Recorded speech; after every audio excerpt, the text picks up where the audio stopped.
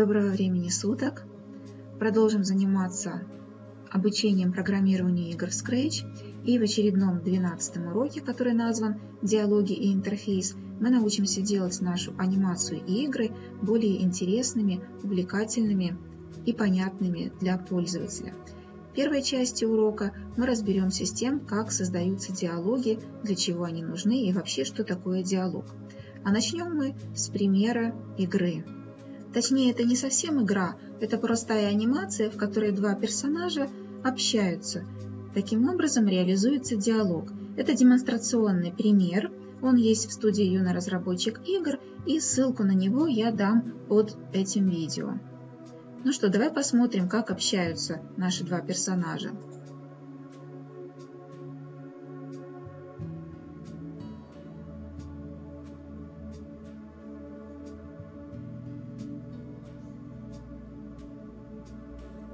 Ну вот и все, они друг с другом поговорили, и дальше, наверное, ты ожидал какого-то сюжета, но наш урок посвящен именно диалогам, поэтому дальше сюжет ты можешь придумать сам. Нам же сейчас нужно научиться делать так, чтобы каждый спрайт по очереди что-то говорил. Ну, как они говорят, с помощью каких команд, наверное, ты уже знаешь. Для этого у нас есть команда «Говорить». Мы откроем код и разберемся. Я сделаю так, чтобы нам был виден код. И везде у нас используется команда действительно «Говорить». Вот наш первый персонаж, наш первый спрайт «Код». Говорит «Привет, я код, а ты кто?» А потом передает что-то. Если мы посмотрим, что передает этот код, то на самом деле вот это что-то под названием «Привет», вот еще раз повторю, да, передает «Привет», получает лев. Что это такое? А потом он еще говорит и дальше передает. Это сообщения, которые спрайты могут друг другу передавать. Ну и чтобы тебе было понятно, как это делается, мы сейчас быстро этот пример диалога реализуем. Мы откроем Scratch, создадим новый проект. Ты можешь сделать след за мной. Здесь у нас код уже есть. Добавим льва. Ты можешь добавить любого другого персонажа. Вот так мы их поставим. И первая проблема, с которой мы сталкиваемся, кот у нас смотрит на льва, а лев смотрит в другую сторону. Что с этим делать? Мы уже делали настройки спрайтов и знаем, что можно сделать поворот его, направление изменить на направление влево, вот так вот, минус 90. Но здесь это сделать точно не так-то просто, вот мне удалось. И сделать еще стиль вращения влево-вправо. Можно это делать здесь, а можно, если ты обратил внимание в примере, который мы рассматривали, это было сделано программно. И сейчас я покажу как. У нас есть команда «Повернуть в направлении». Мы выберем влево. И еще обязательно нам необходимо сделать стиль вращения. Стиль вращения влево-вправо, потому что иначе он, как ты видел, переворачивается с ног на голову. Вот так вот мы поставили друг на друга смотреть. Если потребуется, мы даже можем сделать так, чтобы они сначала друг к другу подошли, а потом начали говорить. Но это ты можешь придумать уже самостоятельно. Я же покажу, как реализовать диалог. Итак, первым у нас начинает код, поэтому он начинает говорить, когда щелкну по флажку, и из группы команд «Внешность» мы выбираем его первую реплику и пишем то, что он должен сказать. Потом мы добавляем «Передать сообщение». Возможно, ты помнишь, в одном из проектов мы это уже делали, даже, возможно, и не в одном ты это уже делал. И создаем новое сообщение, которое, как было в примере, «Привет». То есть код наш сказал «Привет». После того, как код сказал «привет», об этом должен узнать Лев, и программно это получается так, что он получает сообщение от спрайта код. И это сообщение называется «привет». Как только он его получает, он ему ответ говорит «р». И для того, чтобы код среагировал на эту реплику, теперь уже спрайт льва должен тоже передать сообщение. Ну, мы его так и назовем чтобы было проще ориентироваться. И так далее. Ты, наверное, уже понимаешь, мы можем делать диалог сколь угодно длинным. Кот получает Р и говорит ой-ой-ой, или о кричит. Опять передает сообщение, чтобы было понятно и легко ориентироваться, мы его так и называем. Лев его снова получает и говорит «не бойся», ну и так далее. Я думаю, дальше ты сможешь сделать это все сам. Можешь сейчас поставить видео на паузу и сделать этот маленький проект. И вернуться, потому что дальше мы будем делать еще что-то интересное. Но для того, чтобы быть грамотным разработчиком игр, необходимо знать, что такое диалог. И как это мы часто делали, мы рассмотрим некоторые определения – эти определения я взяла из энциклопедии «Кругосвет». Ссылка на нее дана и на этом слайде, и под видеоуроком я тоже ее размещу, потому что эта энциклопедия очень интересная. Там очень много разных тем по разным вопросам и много интересной информации о самых разных предметах, которые, возможно, тебе тоже могут быть интересными. Я поискала там определение диалога. И оказывается, что это слово произошло от греческого «диалогос», разговор, беседа. А если перевести буквально, то речь через. Вот так вот э, такое интересное значение, такой интересный перевод слова диалог. Ну и на самом деле это процесс общения, обычно языкового, между двумя или более лицами. Ну и у нас сейчас здесь было два персонажа, два лица, которые друг с другом вели диалог. Есть еще более частные значения термина «диалог», или другие определения, такие как разговор между персонажами пьесы. Ну, это почти как в нашем сюжете, в нашей анимации у нас два персонажа, они друг с другом общаются. Или так еще называют литературное произведение, которое написано в форме беседы между героями. Есть известные многим взрослым диалоги Платона, например, это такое произведение древнее. В форме беседы между героями можно построить любой мультфильм, и это действительно всегда очень интересно, правда? Ну и, наконец, еще одно определение – это взаимодействие, направленное на достижение взаимопонимания, особенно в политике, например, диалог между властью и оппозицией. Мы, конечно, не будем реализовывать диалог такой, но мы будем говорить о взаимодействии, их взаимопонимании твоей игры или анимации и пользователя или игрока, который должен понимать, что и как делать, взаимодействуя с твоей игрой, с твоей разработкой. Поэтому это даже значение для нас тоже очень важно. Какие диалоги мы можем реализовать в Scratch? Диалоги персонажей, мы это уже сделали. Диалог может быть с пользователем. Ну и давай посмотрим пример диалога с пользователем в игре, которую, в которую, возможно, ты уже играл, «Собери снеговика». Там персонажи игры ведут диалог с игроком, с пользователем. Ну, кусочек мы сейчас посмотрим. Я открыла игру, сейчас ее запущу, там будет играть музыка, поэтому я говорить не буду. Но ты наблюдай за тем, что уже сразу первый из персонажей, Снегирь, начнет диалог со мной, с игроком. Ну а потом я остановлю, если захочешь, ты дальше сможешь проанализировать эту игру, какие еще там диалоги есть.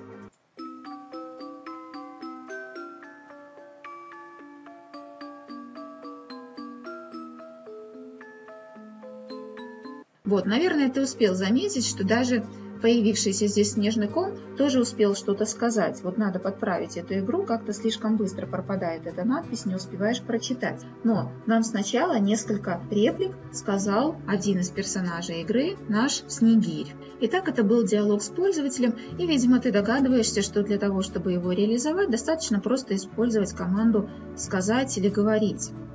Ну и, наконец, возможен так называемый естественный языковой диалог или диалог на естественном языке с пользователем, когда наш персонаж какой-то или наша игра задает нам вопрос пользователю, и мы можем ввести ответ. Если ты помнишь, вопросы мы уже задавали в таком проекте, который называется «Код-счетовод». И на вопросы кота мы вводили данные или свое имя, или значение переменных. Ну и еще в следующем уроке мы реализуем проект под названием «Викторина», где тоже у нас будет уже вопросы-ответы, еще будет проверяться, правилен ли ответ. Итак, зачем нужны диалоги в игре? Благодаря диалогам наша игра или анимация приобретает некий сюжет или историю или рассказ и становится более понятной и интересной. И сейчас еще мы рассмотрим маленький пример, как можно сделать диалог на основе сюжета. Вот я нашла такую интересную картинку, и мне захотелось сделать небольшую анимацию, в которой два персонажа, олененок и собака, друг с другом как будто бы разговаривают, то есть анимировать эту картину. Давай это сделаем. Как же это сделать? Создадим новый проект. Я не буду сохранять, потому что у меня есть уже этот проект. И здесь у нас понятно, что мы должны вроде бы вырезать наших спрайтов. Но также понятно, что это может получиться неаккуратно, некрасиво. И вывод – лучше этого не делать. Мы можем взять эту картинку и разместить в качестве фона сцены, а потом придумать кое-что еще. Итак, я добавляю фон сцены из файла. Этот файл у меня есть в папке. Называется он «Собака и олененок». Вот я его добавляю. И теперь мои два персонажа уже на сцене есть. Как же сделать так? Сейчас я удалю кота, чтобы они начали друг с другом общаться. Для этого мы сделаем, нарисуем два хитрых спрайта, которые будут заменять нам этих двух персонажей, но благодаря им они начнут общаться. А сделаем мы это следующим образом. А, вот я нажала на кнопку «Нарисовать новый спрайт». Мне удобнее рисовать в векторном режиме, но если тебе хочется, можешь делать это и в растровом, но потом увидишь, что векторно легче сделать некоторое преобразование. Поэтому я нажму на кнопку «Конвертировать в векторную графику» и нарисую здесь небольшие кружочки. Например, черненькие. Сначала я их сделаю такими достаточно большими, чтобы их было видно хорошо на сцене, потому что вот уже сейчас, пока я рисовала, я не вижу. Вот черный кружочек. Этот черный кружочек будет заменять мне олененка. И мы его поставим как-то так, чтобы вот это вот облачко или баллон прямой речи, его еще называют, было из определенной части. Вот, например, у нас есть глазик нашего олененка. Мы отсюда будем вести диалог. Потом этот кружочек мы уменьшим, но пока нам нужно, чтобы его было хорошо видно. И так и напишем «олененок». Ну и понятно, что нам нужен еще один такой же спрайт, который будет заменять нам собаку. Я его продублировала. Напомню, что дублировать спрайты можно, нажав правую кнопку мыши и нажать «Выбрать пункт меню «Дублировать». Итак, у нас есть два спрайта, которые заменяют два наших персонажа, но вполне могут реализовать наш диалог. Ну, давай придумаем диалог. И начнет, наверное, здесь не олененок, а собака. Он как бы к нему обращается, поэтому мы сделаем вот так.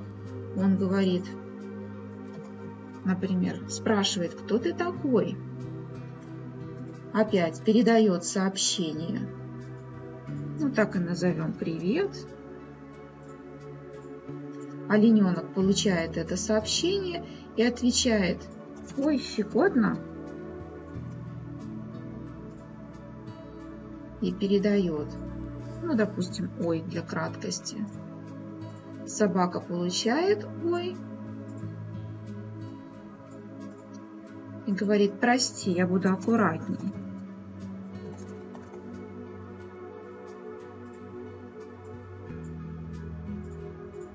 Пишем прости. Олененок получает. Ну и, допустим, отвечает я олененок. А ты кто? Ну и так далее. Давай сделаем. Ну и пусть собака получит, а ты кто? И ответит я собака. Мы можем здесь регулировать количество секунд, надеюсь, ты знаешь это.